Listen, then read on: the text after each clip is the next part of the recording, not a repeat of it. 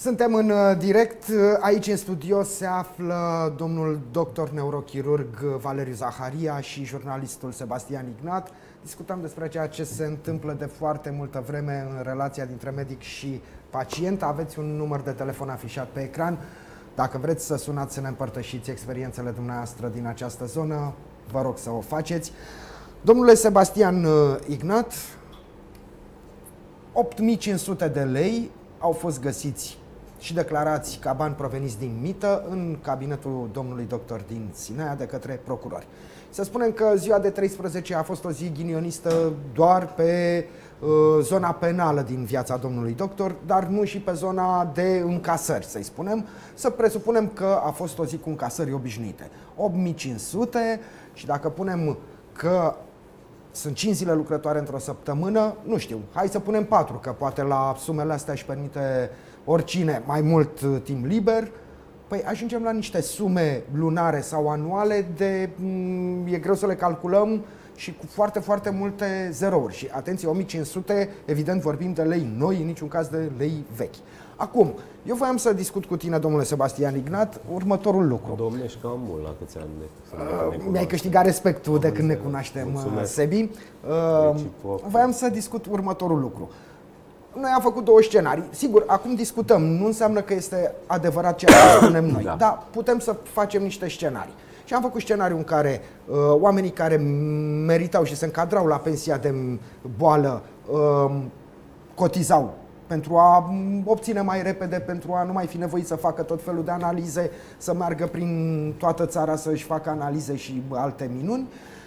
Și ceea ce am căzut cu toții de acord și cred că și toți telespectatorii noștri sunt de acord că este o mizerie din punct de vedere moral și legal, evident. Niște oameni bonlavi, bătrâni, care ca să-și primească amărâta aia de pensie, care nici măcar nu e o pensie de parlamentar sau de mm, Mm, știu eu, mai sunt pensie specială, că sunt multe categorii în țara asta. E, dar pensiile de boală sunt mici și mizerabile și din pensiile alea mici trebuiau să cotizeze și am mai făcut un scenariu că ar fi putut fi și cazuri de oameni care nu-și puteau, din cauza vârstei, nu-și mai puteau găsi un job, un loc de muncă și atunci se gândeau, hai să merg să vorbesc cu un doctor și să obțin un diagnostic care să-mi permită să obțin o pensie dar aici vorbim și de alte lucruri. Vorbim de prejudicierea bugetului de pensii.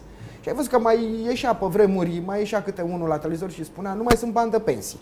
Păi cum să fie dacă se întâmplă lucruri din astea? Eu, eu stau să mă întreb altceva. Vedem că apar uh, instituții de medicină, de sănătate cu capital privat, ceea ce e foarte bine.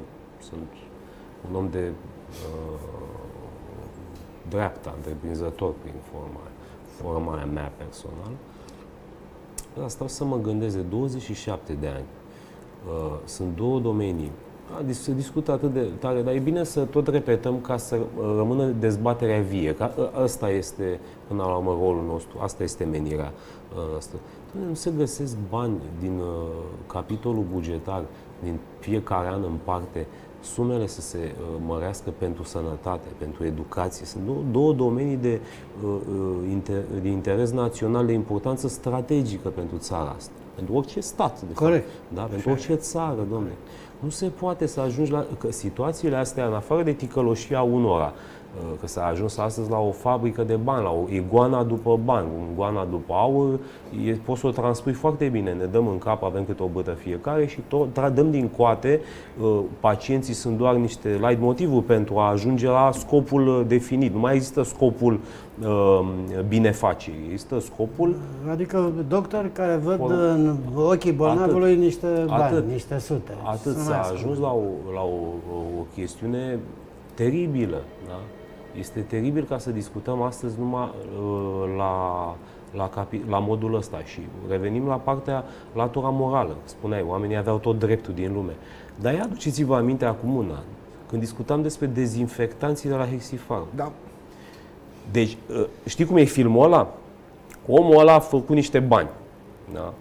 Avea niște contracte cu statul nu este un păcat să ai contracte cu statul, să nu fim uh, ipocrizi, da? că totul este legal și statul. că auzi expres, exprimarea asta foarte uh, des în uh, presă și uh, greșită și aruncată cu, cu tentă întotdeauna uh, Știi? Uh, firma este cunoscută ca având contracte cu statul. Da?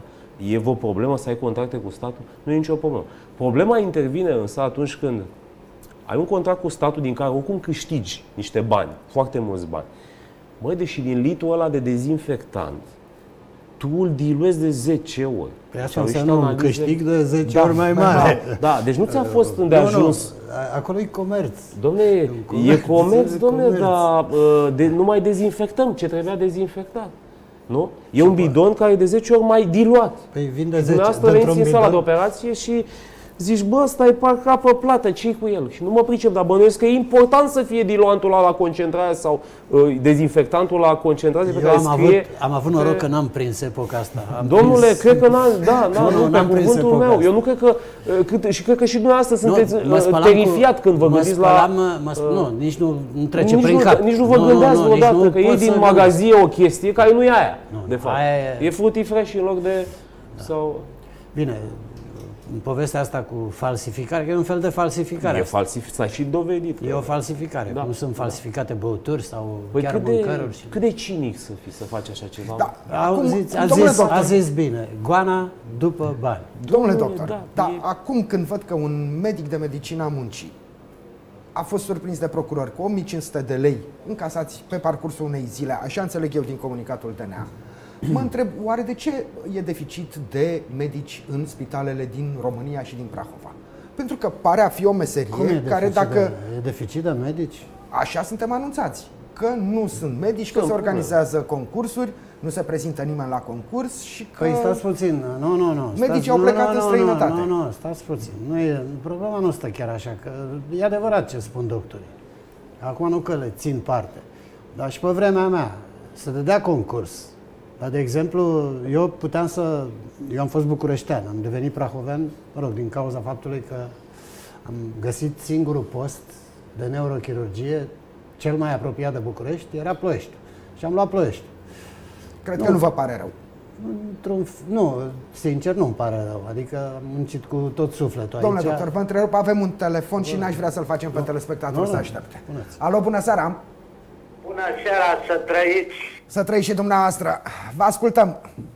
Domnule, mă tot uit la emisiunea dumneavoastră și aș vrea să vă dau câteva subiecte, că vă rugăm. că toți nu-și face datoria, nu nimic. Vă rog, vă rog. Eu joi, joi la ora 1 am făcut o cu fierea, cu pancreatistă, cu da, și m-au luat de urgență. Da. Am ajuns la urgențe, pași la gară. Mi-a făcut niște analize, m-a trântit un pat și mă tăvăleam pe acolo pe jos până nu i-am spus asistentei că păi nu ți-a făcut pe salvare, păi nu mi-a făcut nimeni nimic, doamnă. Hai că mi-a băgat o perfuzie, m-a dus la salon. De la salon vine doctorul, tot treabă socoteală. I-am explicat omenește, domnule, la 50 de ani cât am eu, nu mă mai angajează nimeni, domnule. Eu nu am asigurare ca să pot să plătesc spitalizarea. A, păi dacă nu ai, îți facem externarea, la cerere. Îmi dă drumul sâmbătă dimineața și o alerg după ieșire și ce, să-mi dea o rețetă, ceva, deci plec fără ieșire din spital.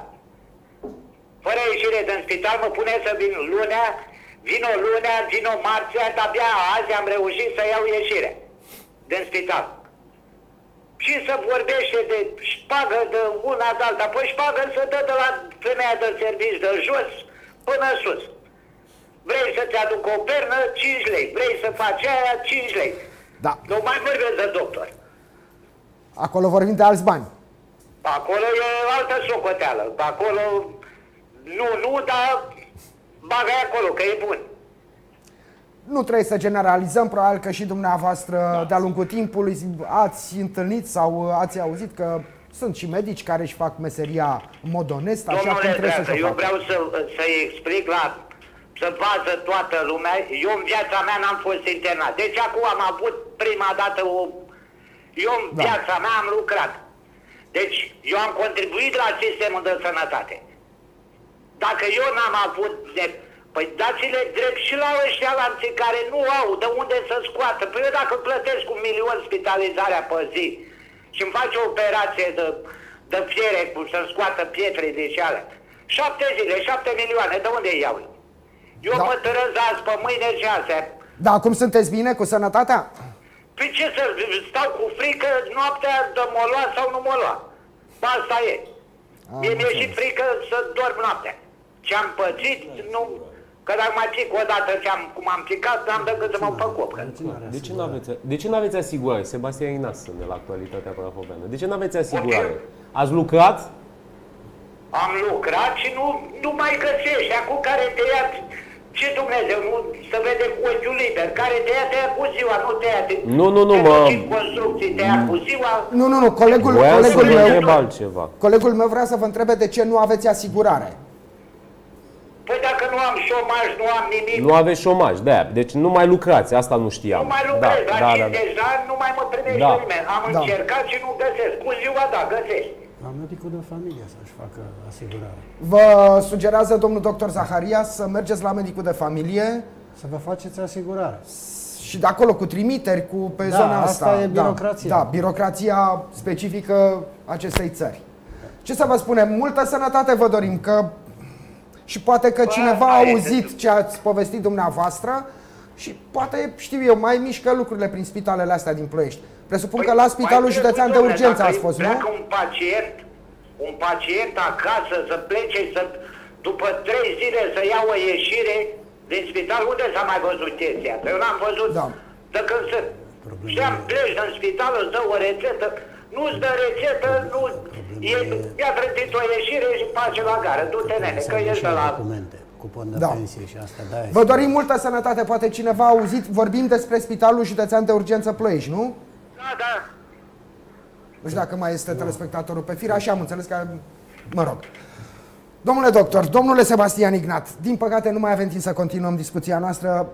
Chiar îmi pare rău că trebuie să închidem emisiunea acum. Cred că ar mai fi fost multe lucruri de discutat, Da, până multe dimineață, lucruri de până spus. dimineață. Da, probabil că ne prindea dimineața, dar poate ne mai uh, reîntâlnim în formula asta și mai uh, dezbatem ce se întâmplă în zona aceasta a societății românești. Vă Sper mulțumesc! să mai vorbim și de bine, nu numai de Să rău. dea că Dumnezeu, sunt, domnule doctor, nu, nu, asta e- sunt sătul de cât rău este în țara asta la ora actuală. travă aruncată Vreau peste să mai tot, vorbim da, și de așa altceva, să ne uităm și la alte popoare, să vedem Da, toți să ne sunt uităm la uniți, noi și să spunem, suntem uite ce des- bine în țara asta. Suntem că dezbinați. Noi nici nu știm cum e bine, că nu știu dacă a Exact. fost vreodată bine, Exact. nici nu știm Exact. cum e bine. Exact. Domnule doctor, vă mulțumesc tare mult. Plăcere. Colegul meu Sebastian Ignat îți mulțumesc și ție Mulțumesc și și eu sigur că pentru da, vă invitație. mulțumesc și dumneavoastră că ne-ați urmărit. Ce să vă spun, vă doresc multă sănătate că în România bolile sunt și grele și iată și foarte, foarte scumpe. Ne revedem uh, săptămâna viitoare. Până atunci, toate cele bune.